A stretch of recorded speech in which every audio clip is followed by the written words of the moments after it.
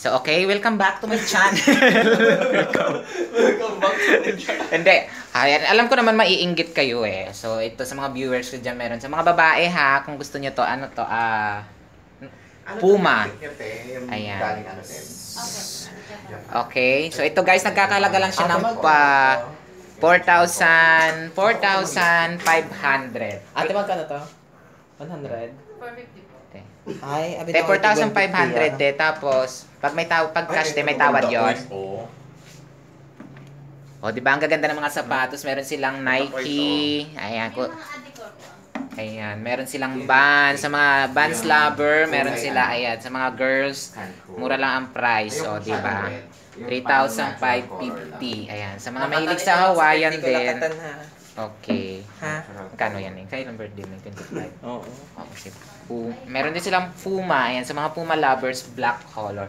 Ayan, so guys, isa-isahin ko ha para mainggit kayo. O, pumunta lamang po kayo dito. Ayan. Gaganda, diba? Okay, pero pero hanggang hawak-hawak lang muna kasi kami kasi mahal ang presyo, day. Ayan. Ayan. At ito daw sabi ni ate, ah, surplus daw to kasi hindi ko naintindihan kung surplus ba. Ayan.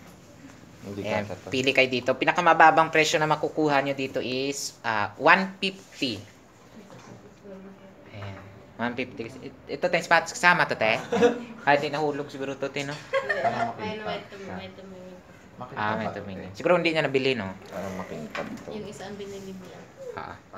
So, ibalik natin. Na? Oh, ganda oh.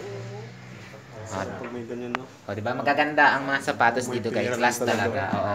Kung may pera lang naman kayo, ngayong Pasko, pumunta na po kayo dito. Marami po talaga kayong pagpipilian. At syempre, as, uh, I promote this uh, establishment. So, sama nyo ako. Ayan. Hanggang, hanggang, uh, ito si Kois. Oh, ayan. Hanggang amoy-amoy lang muna siya.